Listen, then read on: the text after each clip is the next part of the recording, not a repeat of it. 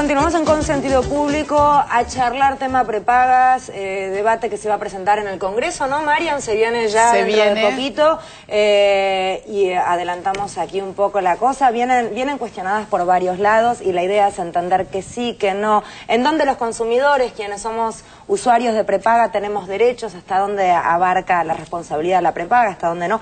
Vamos a presentar a los invitados que tenemos muchos. Empiezo por Pedro, aquí a mi derecha. Eh, Pedro Bucete, presidente de Defensa de Usuarios y Consumidores. Bienvenido, Pedro, gracias por estar aquí. Continúo por Federico Tobar. Federico es especialista en salud pública, economista, viene aquí a aportar un poco también de debate y opinión sobre el tema. Y eh, José Carlos Piva, presidente de Medife, bienvenido. Gracias por estar. Bueno, presentamos a todos. Eh, este, eh, ¿quién, quién, quién me ayuda a introducir un poco el tema que tiene que ver un poco con esto que se va a empezar a debatir en el Congreso? Hay un proyecto que ya lleva varios años de discusión, que tuvo una primera media sanción en diputados, pasó a senadores, se aprobó con modificaciones y tiene que volver a diputados. Ya está en diputados previéndose que posiblemente la semana que viene, porque estaba previsto la semana pasada tratarse, eh, finalmente se apruebe. La idea es que a las prepagas, que funcionan desde hace varios años, desde la época fundamentalmente de los 90, sin ningún tipo de control. Y esto es lo que sucede y muchas veces aparecen en las denuncias que se hacen en los eh, sitios de defensa del consumidor. Eh, bueno, te aumentan, no te cubren algunas prestaciones. Sí, cuando empezás a ser un poquito más grande y tenés que empezar a utilizarla, te empiezan a cobrar fortunas y tenés que irte porque no la podés pagar, digamos. Hay Y unas como cosas lo que plantean es que está en el reglamento y no hay ningún tipo de control estatal, bueno, todo vale. Eso yo no puedo, no, no termino de entenderlo, porque debería estar regulado de alguna Pero a manera. ver, la pregunta es, a ustedes, las prepagas, ¿no quieren que haya una regulación de la actividad de las prepagas? ¿No quiere que el Estado considere a las prepagas como compañías de seguro? Porque el, el que hace el aporte hace un aporte como si fuese un seguro. Ante una eventualidad tiene y recibe la prestación. Absolutamente sí, queremos que estén reguladas. Absolutamente sí. Es más, yo creo que el Estado no puede estar ausente en algunos aspectos que tienen que ver con empresas. No me refiero a las prepagas, una situación dominante en el mercado, el Estado tiene que aparecer como regulador. Esto es así. Pero, Cuando ustedes hablaban en el, en el bloque anterior sobre el transporte, yo voy a sacar mi tarjeta como presidente de la FATAB durante 25 años. Entonces digo ¿Qué es que... la FATAB? Expliquemos. La, la FATAP es la Federación Argentina de Transportadores por Motor de Pasajeros. Presidí durante muchos años las cámaras también. Y en ese debate que ustedes habían instalado recién faltó algo, ¿Qué? me pareció. Es asegurar el buen uso social de las calzadas, que es lo crítico, que es lo que falta, que es lo que realmente está faltando y no se puede, no se puede inventar. ¿Hablamos de veredas hechas pelotas? No, no, no, no, las calles, las calles, las calzadas. De las las calles. Un vehículo de transporte público de pasajeros transporta 80 personas más o menos. Si estas 80 personas a la hora pico van en automóviles particulares, son 40 autos con 40 motores, con un espacio de calzada mucho, muy superior a todo esto. Es decir, hay que regular eso, hay que regular esto, pero hay que regularlo bien. Pero yo no, a ver... a Hay ver, que regularlo bien. ¿Qué quiere decir regularlo bien? Vol- Volvamos a las prepagas, que es el tema le, que... le voy a decir enseguida. Nosotros estamos de acuerdo con la regulación y no estamos de acuerdo con el artículo 10 de la ley que está por salir. Porque es de aplicación imposible. ¿Pero qué dice el artículo El 10? artículo 10 dice que se pueden eh, afiliar, por ejemplo, una señora embarazada a ocho meses de embarazo, hace su parto, se desafilia y deja eh, la prepaga. En este momento Entonces, destaquemos que, sí. que- que las embarazadas deben estar afiliadas antes de estar embarazadas. Por supuesto. En este momento la cosa es así. Debiera ser así. Y no Porque- solo porque ustedes hay- plantean el caso de las embarazadas, sino de una persona que tiene una, algún tipo de enfermedad. Eh, no es un tipo de enfermedad, no. Eh, según qué tipo de enfermedad tenga. Pero lo que quiero decir es que este aspecto puntual del artículo 10 al que me he referido es una, una cuestión que ya se va a resolver. Y yo creo que sobre este tema, más que hablar los interesados, que somos, podemos ser objetados y somos objetables también, deben eh, opinar actuarios sobre este tema. ¿Es de posible cumplimiento ese artículo de la ley? Yo creo que no. Yo creo que no. Este, y entonces, entonces este, quería informarles a ustedes que estamos trabajando intensamente en algunos aspectos que tienen que ver con, el tratamiento de las enfermedades de más, de más alto costo. Y el doctor Tobar, el doctor Tobar es autor de un proyecto de ley, de un proyecto de, podría ser de ley también, sobre el tratamiento de enfermedades catastróficas. Eh, le propongo, Pedro, que, charlemos un poco este tema como disparador acerca de las diferencias con este. ¿Cuál era el, número del artículo? Artículo 10. Artículo 10. Ahí está. Sí, en principio digo que hicieran... Una toma de postura, ¿no? Una toma de postura. Cuando el señor Piva habla de que las empresas de medicina prepaga están de acuerdo en la regulación, digo, hay más de 50 proyectos presentados desde el año 90 en la Cámara de Diputados, senadores de la Nación, y si no tuvieron aprobación y no tuvieron tratamiento fue por la acción de las empresas de medicina prepaga que de alguna manera gestionaron, para decirlo en términos elegantes, para que esta ley no saliera y hacen todo lo posible para que esta ley no salga. Hace muy poco tiempo, alguno de los principales responsables de una empresa públicamente manifestó su oposición y trató de que, de que esta ley no saliera. De alguna manera también, cuando se aprobó en 2008, se aprobó en julio, julio-agosto de 2008, estuvo cajoneada en la Comisión de Salud del Senado de la Nación hasta el año 2010, mediados del año 2010, donde volvió a tener tratamiento. Y seguramente que no fue porque hicimos lobby las asociaciones de consumidores para que, para que no saliera, sino porque algunas empresas trabajaron para que no saliera.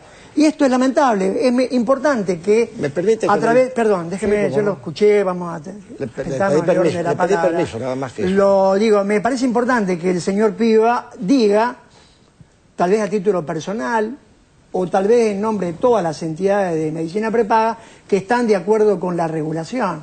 Yo digo esperemos, que... esperemos que el próximo miércoles, no mañana, porque no va a haber tratamiento, porque bueno, Semana Santa, los diputados no vienen de sus provincias, pero la semana que viene tengamos la aprobación de este texto que viene del Senado modificado. Nosotros no estamos de acuerdo con la modificación del artículo primero, que elimina a las asociaciones civiles y fundaciones de la regulación, porque evidentemente hay empresas de medicina prepaga tras de esa, de esa forma jurídica, asociación civil o fundación, que tienen miles de afiliados y que deberían estar controlados concretamente, para dar nombre, Hospital Italiano, Hospital Británico, todas las empresas de medicina prepaga que están en el Gran Buenos Aires y en el interior del país que pertenecen a asociaciones civiles como los colegios médicos y que de esta manera no estarían regulados lo que nos parece eh, esta, ley, esta ley es un avance si sale aprobada. Por supuesto, sí, estamos de acuerdo y vamos a tratar de que se apruebe. Y, para ustedes, esta ley, más allá del artículo 10, ¿ustedes están de acuerdo?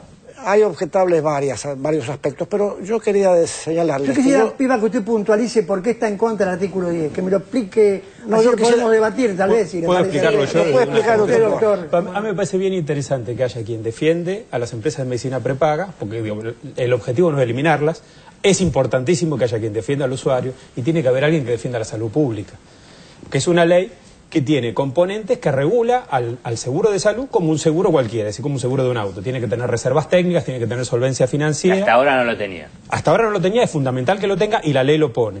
Es y están de acuerdo las prepagas. Totalmente. técnicas fueron Digo, Yo no sé si todas las prepagas están de acuerdo. A mí me parece que eso es indiscutible, a eso me refiero. ¿Qué yo no, decir no, sé lo que piensan las Perdón, yo pido traducción para el común denominador de la gente. Si, si vos estás asegurada, tenés que tener seguridad.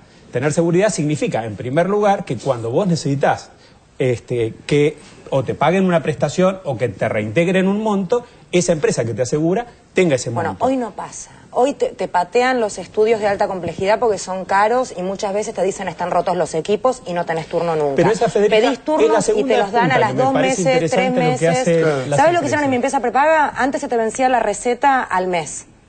¿Qué hicieron? No incorporaron más gente para que esto no pase. Estiraron el vencimiento dos meses.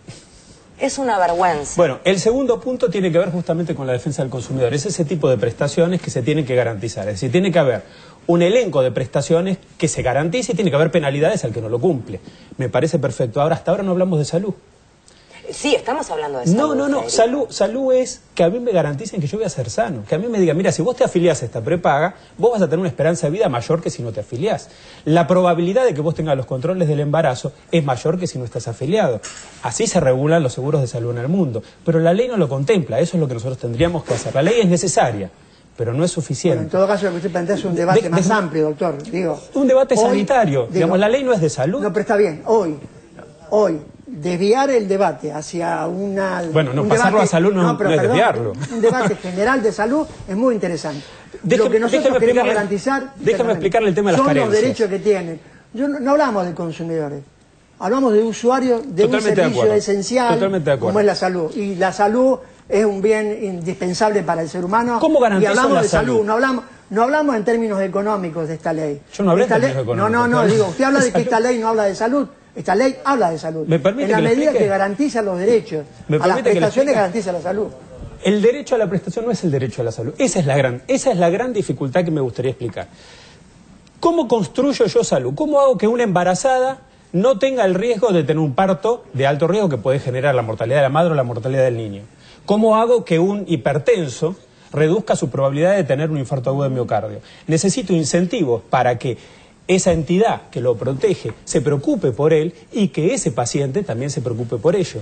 Si yo no pongo ningún límite y yo puedo asegurarme el día que me robaron el auto, es decir, el día que me enfermé voy y saco un seguro, no hay ningún incentivo por ninguno de los dos lados. ¿Qué es lo que Esa usted la falencia de la concretamente plantea Que que la le ley falta tiene la- que al tener, como tienen todas las leyes, yo estudié las leyes de 23 países, todas las leyes establecen penalidades para la empresa, pero también penalidades para el paciente. ¿Pero de qué tipo de penalidades Claro. está hablando? A ver, un La ejemplo concreto. La penalidad siguiente Si tiene que haber un incentivo para que la gente... hiper- hipertenso... No, no, no, pero tiene que ver- Te, te Te quitan puntos, te quitan puntos.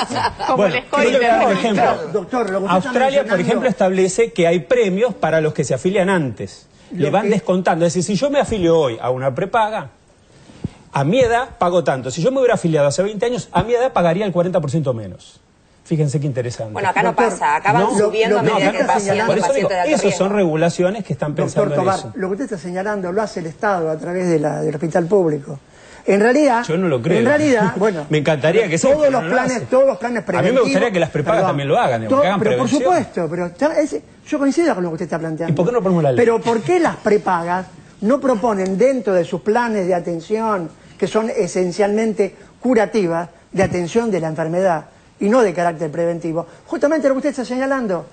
Una de las cuestiones fundamentales que no aborda la medicina prepaga porque tiene un fin únicamente mercantil y de rentabilidad económica, es lo que usted está señalando. Eh, Yo claro, coincido pero totalmente para eso con tiene que haber una Pero, a ver, relación de largo ¿por qué plazo no hay iniciativa por el- parte de un sector que maneja 4 millones y medio de afiliados, que maneja 12 mil millones de pesos por año, de atender justamente a la cuestión de la salud del conoce, afiliado? Lo que trata la empresa de medicina prepaga es de, de restarle la, man- la mayor cantidad de prestaciones para lograr una utilidad. Pedro, Esta es el final, la finalidad de la empresa prepaga, la utilidad. Pedro, no va a haber empresa prepaga que nos rescate si no mandamos un corte porque Muchísimas gracias. La idea era plantear el debate. Como no me deja- ¿no puedo hablar? ¿Cómo? No puedo hablar. Hagamos una cosa, eh, vamos a un corte y yo Sí. le, le regalo el último minutito Con a usted. todo gusto, con ¿sí? todo gusto, con todo gusto. Pero usted quiso que venga Federico acá para que hable también. Y nos ha Porque- ilumina- y nos ha iluminado. No me haga esto, me está corriendo. Porque Juan Carlos, usted estaba invitado solo con Pedro y tenían tiempo los dos. No, usted no, quiso que venga su amigo. Federico y está lo fantástico. Adelanté, lo adelanté ayer. no, no lo inventé. Ahora, vamos a un corte y ya venimos. Gracias.